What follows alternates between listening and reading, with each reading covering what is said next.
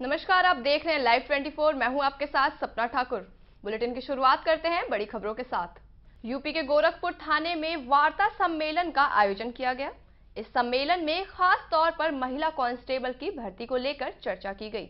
SSP Joginder Singh ने सम्मेलन के दौरान पुलिस कर्मियों को ज़रूरी दिशा निर्देश दिए। इसके साथ ही जोगिंदर सिंह ने महिला पुलिस बल की तैनाती को लेकर विशेष चर्चा की। उन्होंने कहा कि आरटीसी महिला ट्रेनिंग चल रही है, जिसमें 88 महिलाओं ने भाग लिया है। जल्द ही उनकी तैनाती की जाएगी, ताकि महिला सुरक्षा में बढ़ोतरी हो। और साथ ही एसएसपी जोगिंदर सिंह ने पुलिस लाइन में प्रशिक्षण कर रही महिला पुलिसकर्मी को दिशा निर्देश भी दिए और महिला पुलिस कर्मियों की जल्द ही पोस्टिंग की बात कही है।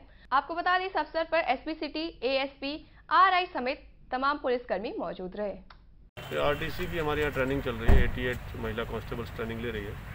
उसको लेकर के सम्मेलन किया गया था, उनकी समस्याएँ पूछी गई थी और उनकी ट्रेनिंग के बारे में आईटीआई और आई को निर्देश किया गया, अच्छी ट्रेनिंग कराई जाए ताकि एक अच्छी महिला आरक्षी के रूप में ये लोग पुलिस को सेवा दे सकें।